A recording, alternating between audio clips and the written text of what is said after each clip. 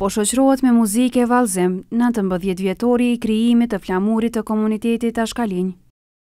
Rreth shpalljes së simbolit kombëtar të këtij komuniteti na foli Agim Hyseni, udhëheqës i Kongresit të vitit dy mijë e tre. Flamuri është shpallur është ngritur në pesëmbëdhjetë shkurt dy mijë e tre në Grand Hotel në Prishtinë. Isha, kisha nderin dhe isha krenar që isha udhëheqës i atij kongresi, i cili u mbajt në Prishtinë më pesëmbëdhjetë shkurt dy mijë e tre. Ishin njëqind e nëntëdhjetë e shtatë delegatë në mbarë të Evropës, U tubunë burrat e kombit dhe e shpalosën flamurin kombëtar ku atë ditë edhe u vulos historia e komunitetit ashkali në Kosovë dhe kudo që jetojmë këta. Pra, këtë ditë e morëm pasaportën dhe tash njihemi si komunitet me simbol kombëtar. Hyseni tha se sikurse kombet e tjera, edhe komuniteti ashkalinj tash e nëntëmbëdhjetë vite feston ditën e tyre kombëtare.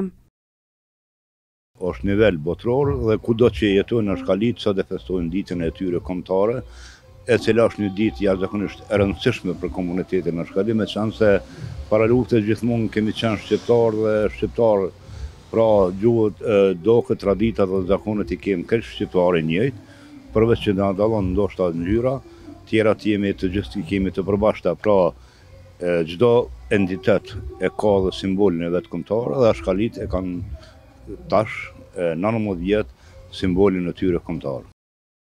Ndërkaq, zëvendëskryetarja e komunës së Podujevës, Marigona Lahu, ishte pjesë e kësaj feste, ku edhe tregoi se Komuna e Podujevës ka nënshkruar dy marrëveshje të rëndësishme për këtë komunitet.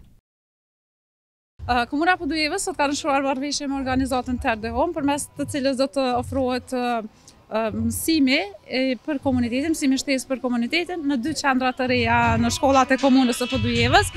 Përmes kësaj marrëveshje ne synojmë që të përmirësojmë nivelin e edukimit të komunitetit dhe të përmirësojmë jetën në përgjithësi. Në këtë pesëmbëdhjetë shkurt, u ndanë mirënjohje për kontribuesit pjesëtarë të këtij komuniteti, si dhe zyrtarëve komunalë të Podujevës për mbështetjen e vazhdueshme të këtij komuniteti.